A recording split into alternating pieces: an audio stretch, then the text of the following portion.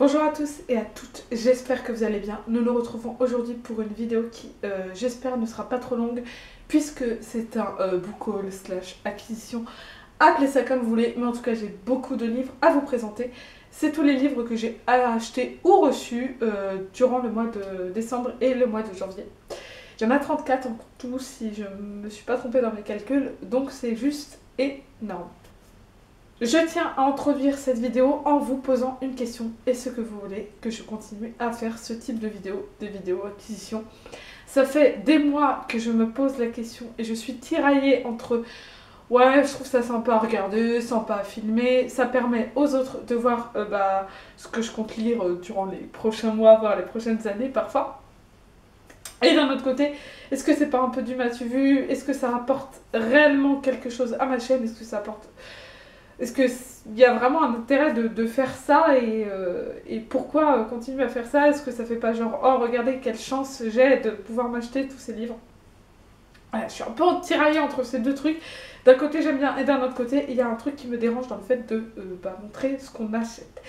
Donc voilà, je voudrais euh, savoir vraiment, vraiment ce que vous en pensez. Donc lâchez-vous dans les commentaires. Est-ce que j'arrête? Est-ce que je continue? Je pense que je me fierai à votre avis parce que moi je n'arrive pas à le décider toute seule.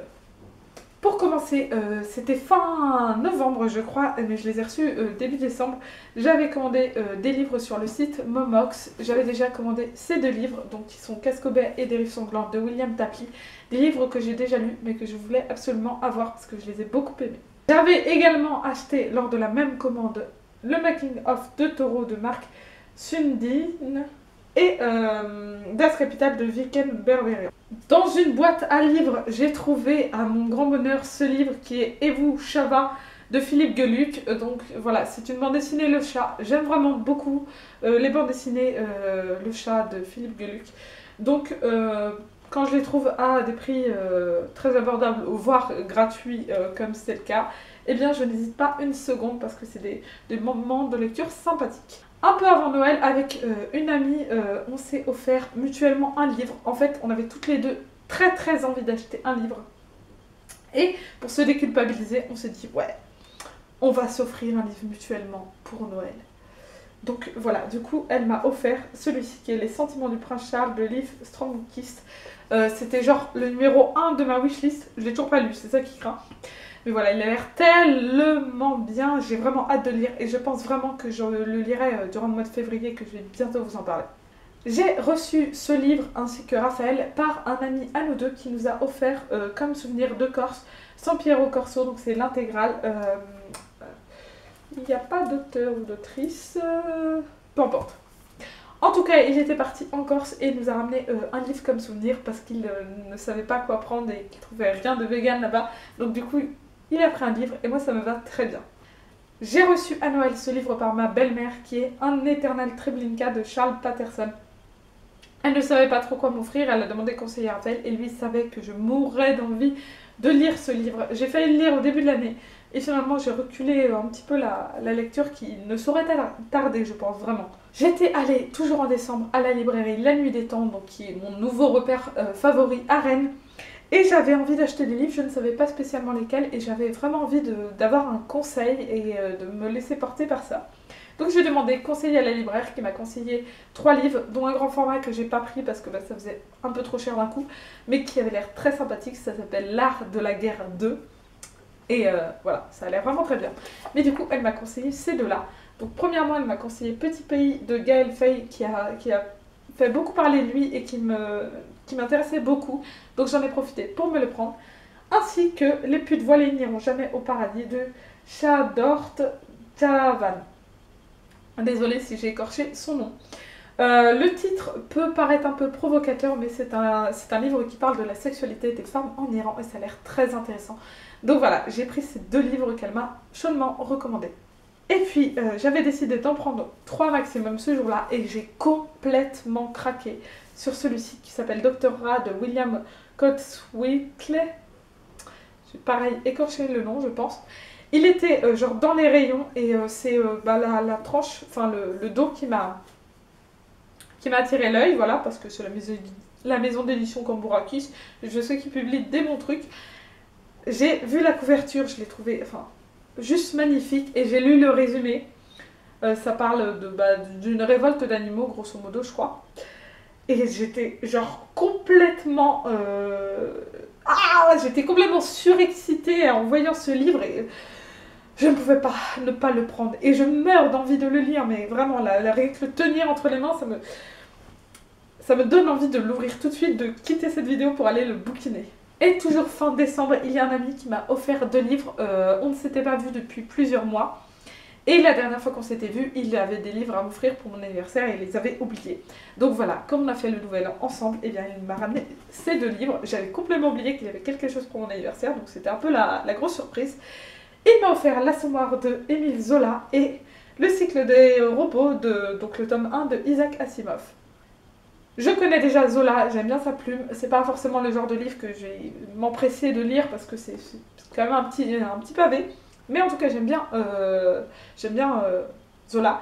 Et Isaac Asimov, j'aimerais bien découvrir, donc ça tombe à pic. Nous passons maintenant au mois de janvier, qui a euh, bien commencé ou pas, ça dépend comment vous entendez les choses, la masse de livres qu'il y a. Où je suis allée à Emmaüs et j'ai acheté deux livres pour moi et aussi un pour une amie que je ne vais pas vous présenter.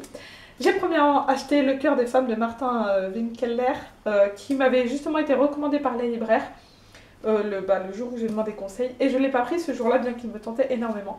Je l'ai vu à Emmaüs et je me suis dit, ouais, c'est un signe. C'est un énorme pavé, mais j'avoue que, j'avoue que j'ai, très, très, très envie de le lire euh, prochainement. Et à Emmaüs, j'ai également pris L'anneau de Moebius de Franck Tilliez. Euh, donc c'est un auteur que j'aime beaucoup. voilà, je, je, prends ses livres sans, sans trop regarder les résumés, sans trop m'inquiéter. Donc voilà, c'est un peu une valeur sûre.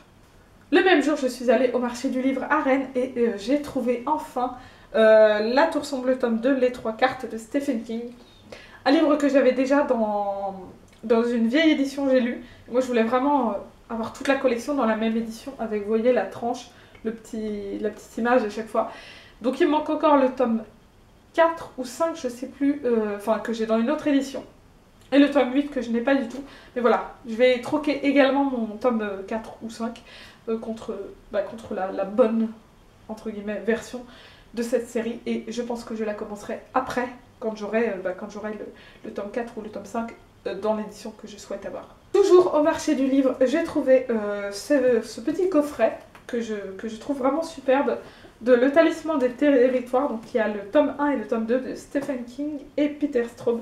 Et mon grand malheur, c'est que j'ai appris plus tard que en fait un tome 3 allait sortir. Donc voilà, J'aurai un coffret avec pas toute la série dedans. C'est un peu con, mais bah tant pis, hein, je, ne savais pas. Et en tout cas, le coffret est magnifique, donc je suis quand même ravie. Et toujours au marché du livre, j'ai acheté un livre qui n'entre pas dans ma pile à lire, que je lirai, mais qui n'entre pas dans ma pile à lire parce que je ne vais pas le chroniquer sur le blog. Et voilà. Mais c'est un livre de Tom Tom et Nana. Donc c'est le tome euh, genre 34, increvable. En fait, avec mon petit frère, on essaie de finir la collection. Et je l'ai appelé, mon frère il savait plus si on l'avait ou pas parce qu'il en avait acheté euh, il y a pas longtemps je crois à Nose. Et bon, moi je savais que je ne l'avais pas lu, euh, je savais pas lesquels il avait pris. Je l'ai pris, je me suis dit bah il est à 3 euros c'est pas grave. Et au final, euh, mon frère il a regardé plus tard quand il a pu et il l'a vu. Donc voilà, on l'aura en double mais c'est pas grave, je pense qu'on donnera des exemplaires à quelqu'un. Retour à la nuit des temps où j'ai pris cette bande dessinée qui est euh, libre manifeste pour s'affranchir des dictats sexuels de Ovidie et Digley. J'ai déjà lu ce livre et euh, je l'ai chroniqué sur le blog, j'en parlerai prochainement en, vidéo. En tout cas, c'était une très chouette lecture, euh, vraiment j'ai beaucoup aimé et j'ai très envie de lire d'autres livres d'Ovidie et de Digley. Et j'avais également acheté un, autre jour, je crois, Les Morues de Titou Lecoq, un livre que j'ai très envie de lire puisque j'ai lu son dernier livre qui est euh, Libéré, le combat féministe se gagne devant le panier de Lynchal. Donc voilà, elle était en rencontre euh, à la nuit des temps et, euh, j'avais acheté ce livre la semaine, enfin quelques jours avant, la semaine d'avant. Donc j'en ai profité pour le faire également dédicacé et j'ai très très envie de le lire. Mes parents m'ont fait un superbe cadeau pour Noël, voilà, c'est moi qui avais suggéré l'idée à mes parents.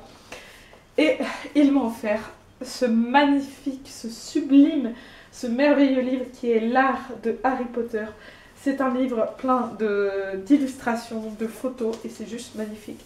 Je vais vous en montrer un pour vous donner une idée. Donc voilà, une, illustration qui est juste, euh, qui est juste sublime, c'est à couper le souffle. C'est un livre en édition limitée qui coûte un peu la blinde et euh, qui est énorme, qui est très lourd. Mais voilà, c'est un livre que bah, que j'avais envie d'avoir dans ma collection entre guillemets Harry Potter parce que, bah, que j'ai complètement craqué sur le truc. Au début, je pensais pas le prendre et au final, j'ai vu des images et j'ai fait Ah, ça a l'air trop bien. Donc voilà, euh, superbe cadeau de Noël de la part de mes parents que je présente dans les livres achetés en janvier parce que je n'étais pas avec ma famille à Noël, j'étais avec euh, la famille de mon copain. Et donc j'ai vu mes parents après, en janvier, et ils m'ont offert, enfin on s'est offert les cadeaux à ce moment-là. J'avais recommandé encore une fois des livres sur le site de Momox, euh, vraiment c'est très intéressant au niveau de l'occasion, j'ai été satisfaite des deux commandes que j'ai faites, euh, donc euh, n'hésitez pas si, vous connaissez pas, je, mettrai peut-être le lien en barre d'infos si j'y pense.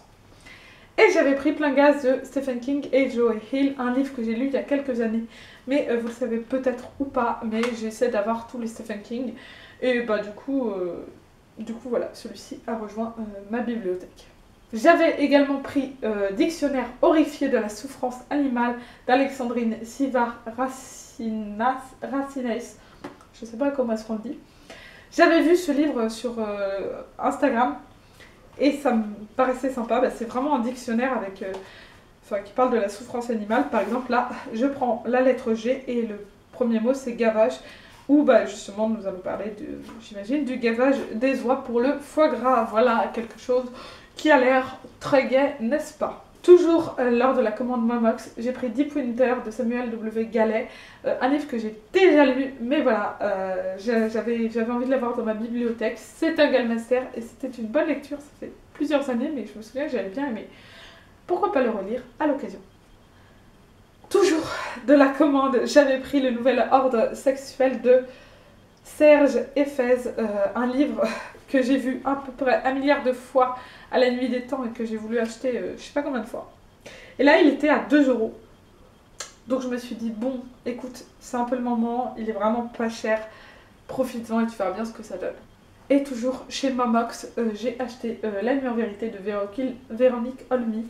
Je sais qu'il y a une petite histoire par rapport au harcèlement et, et ça fait quelques temps que je l'avais repéré, ça fait quelques années. Donc bah là, je l'ai vu, je me suis dit, allez, on y va. J'étais encore allée à la nuit des temps. Je pense que j'y vais cinq fois. Euh, j'y vais à peu près une fois par semaine. Et, euh, j'avais commandé ce livre parce que je voulais absolument le lire. Voilà, j'avais failli le laisser dans une autre librairie rennaise qui est un peu plus grosse. Et je me suis dit non, je vais le prendre à la nuit des temps parce que je veux souvenir la petite librairie, tu vois. Et du coup, je l'ai commandé là-bas. Et c'est La Lune Méthano de Cindy Van Wilder. Euh, je l'ai pas encore lu, mais j'en meurs, mais j'en meurs d'envie, franchement, je vous jure. Il sera lu février ou mars, je pense. Franchement, il a l'air tellement bien, il y a eu tellement d'avis élogieux sur ce livre que, bah, que je pouvais juste pas passer à côté.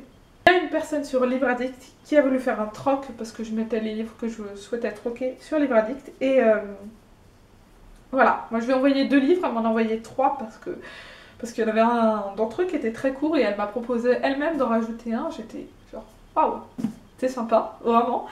Et en plus, cette même personne euh, m'a fait la surprise de me rajouter deux petits sachets de thé euh, de la marque Yogi, je crois, euh, à l'intérieur. sachets de thé que je n'ai pas encore goûté, mais en tout cas, c'était vraiment, c'était vraiment très sympathique de sa part. Moi, je voulais lui mettre un petit mot et j'étais à la poste et je me suis dit, ah, j'ai oublié d'écrire un mot. J'avais un peu la flemme de retourner chez moi. Donc voilà, j'avais un peu la honte parce que moi je lui ai juste mis les livres et qu'elle m'a mis des petits sachets de thé et tout. C'était trop mignon.